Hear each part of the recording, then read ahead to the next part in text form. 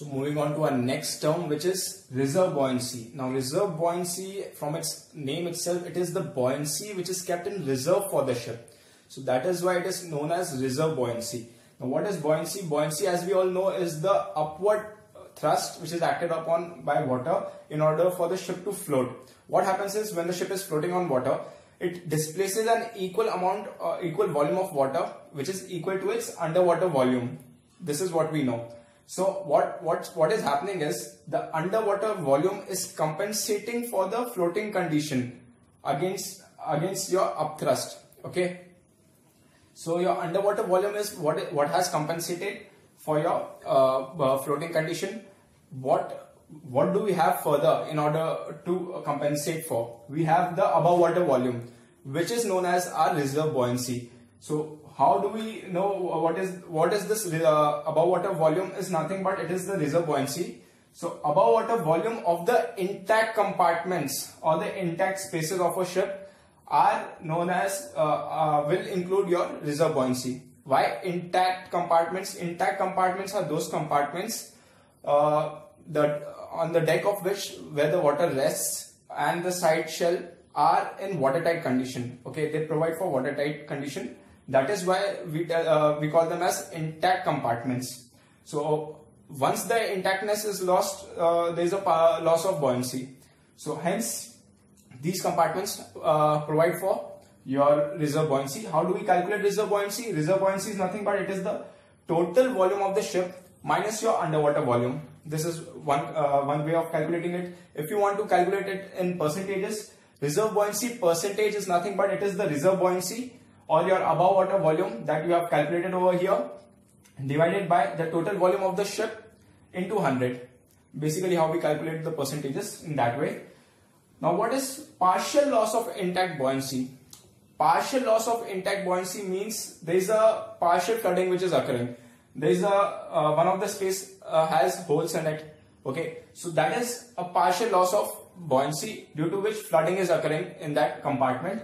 But it, it is not occurring in all the compartments. Only one of the intact compartment is partially flooded. That also it's not completely flooded but with time it will be completely flooded.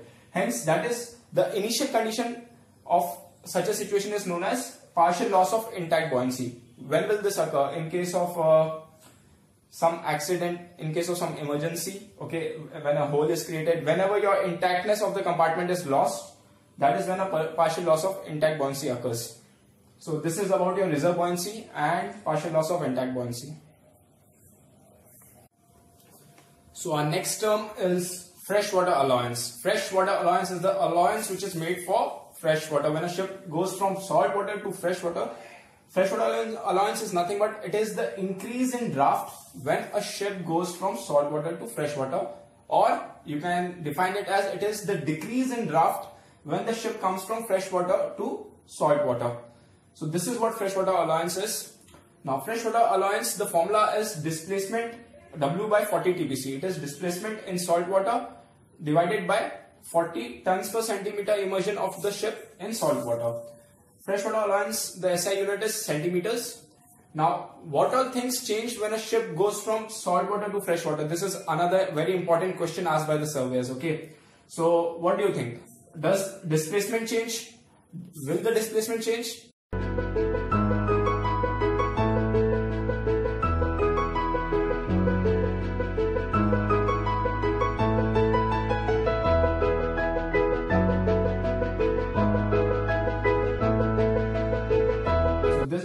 These all things will change. What about TPC? Will the TPC change when our ship goes from saltwater to freshwater? Yes, the TPC will also change. Why will the TPC change? Now TPC, the tons per centimeter is dependent on the water plane area. As the draft increases, the water plane area also increases and hence your TPC will also increase. Hence TPC also changes. But if TPC is also increasing, then your freshwater allowance should decrease as per the according to the formula. But why is it not decreasing? Because your displacement compared to TPC is increasing at a larger rate, okay, and it is greater compared to TPC. Hence, freshwater allowance increases as your draft increases and when ship goes from salt water to freshwater, your displacement will change as well as TPC will change. So these are few important questions which are asked by surveyors. Make a note of it. So friends, our next topic is load lines. Now load lines are so very important with respect to ship because when you are when, when you load your ship, you load it up to your load lines. So load lines, there is a whole convention for load lines which IMO has developed. It is the International Convention on Load Lines which was adopted on 5th April 1966 and it came into force on 21st July 1968. There are few uh, notes to be made before moving on to the diagram of the load lines which are as follows. Now remember these points that all assigned load lines must be marked amidship on each side of the vessel along with the deck line. Okay. Now the winter North Atlantic uh, is uh, the winter North Atlantic load line is uh, is a dotted line which is marked dottedly uh, when you see the diagram. Okay. So why is it marked dottedly? Because that the winter North Atlantic load line it applies only to those uh, vessels which are less than 100 meters in length which uh, trade in the uh, North Atlantic region during the winters. So winter North Atlantic uh, load line applies only to those vessels. Now another important question which is asked by the surveyor is how much is the thickness of these load lines? The thickness of these load lines is 25 mm thick. All the uh, all load lines are 25 mm thick. They are cut into sh the shell plating and they are painted either uh, white or yellow for uh, uh, white or yellow is for a darker background and black is for the light background. So this these are this is about the color of the load lines. Then a very important note. Now the upper edge of each load line indicates its exact level. Okay. So how do you know your ship is loaded to your summer load line is when the water level will reach the upper edge of the load line. The load line is 25 mm thick when the water level rises to the upper surface okay the upper edge of the load line that is when the uh, the load line is met that is the exact level of your summer load line then what is the 1988 protocol? What effect does it have on the load line convention? The 1988 protocol included the harmonized system of service and certification and the tacit acceptance also came into force through this protocol which was included for the international convention on load lines. Now how, how when when is the load line survey carried out? Now load line survey is conducted every 5 years subject to annual surveys so these are few questions which are asked by the surveyors with respect to load, load line.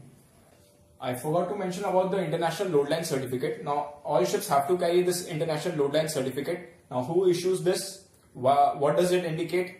And uh, the purpose of it. Now international load line certificate is issued by the classification society. Okay? Now, what does it indicate? This certificate indicates that the ship is complying with the load line uh, convention. The uh, load lines are properly marked as well as surveyed, okay, and they are intact.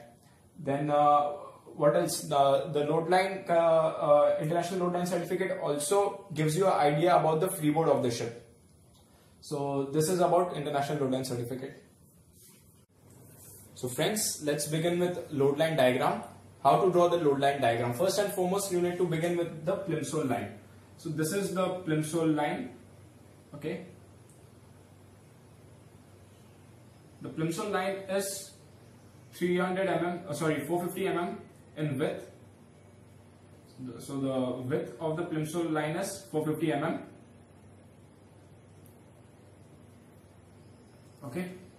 Then you have the load line circle which is present Remember that the di uh, diameter of the load line circle is 300 mm. So this dimension till the outer edge is 300 mm. Okay.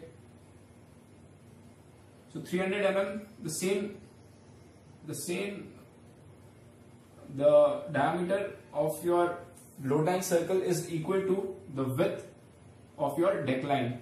So the deck line lies in line with your plimsoll mark. This is the deck line. It is also 300 mm width. It has 300 mm width. Okay.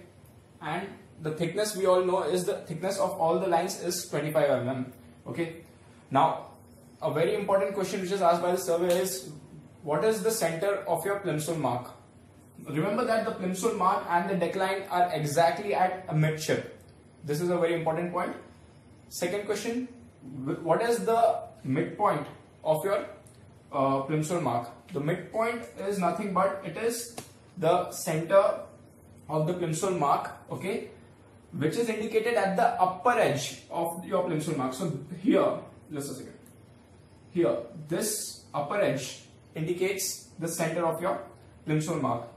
As noted before all the uh, measurements are with respect to your upper edge of the lines okay moving on to your summer load line. Now from the center 5, uh, 540 mm further is a straight line okay? Now your summer load line lies in line with your plimsoll mark. So in line with your plimsoll mark would come your summer load line okay this summer load line is also uh, 25 mm, mm in thickness okay? And the width is of uh, 230 mm. This is 230 mm in width. Then we have below the summer we have winter winter load line. Winter load line is 1 by 48th of your summer draft this is the distance between the summer load line and the winter load line calculated from the upper edges. So this, this distance is your 1 by 40th of your summer draft. Then below the winter is the winter North Atlantic which is 50 mm 50 mm below the winter the distance is from the upper edges. Okay, winter North Atlantic load line is applicable only to those ships which are less than 100 meters which sail in the North Atlantic region in the winter season. Then we have your tropical. This is your tropical load line. Okay, it is also 1 by 48th. The vertical distance is 1 by 48th of your summer draft then we have towards the aft direction. The, these, these load lines are towards the forward direction and then we have two load lines which are towards the aft direction. One is your fresh water, other one is the tropical fresh.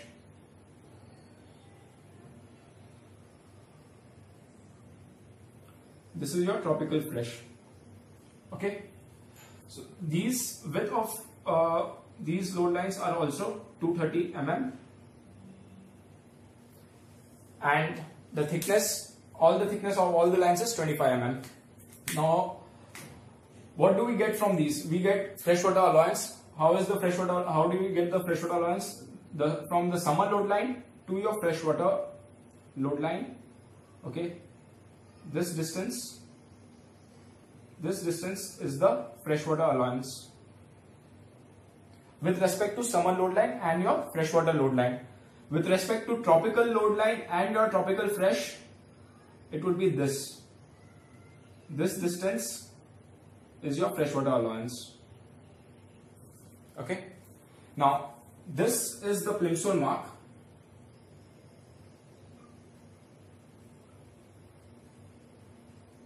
this mark is your plimsoll mark okay? From the upper edge of the plimsoll mark or your summer load line towards the deck line okay? This distance this distance is nothing but it is known as statutory freeboard. This is your statutory freeboard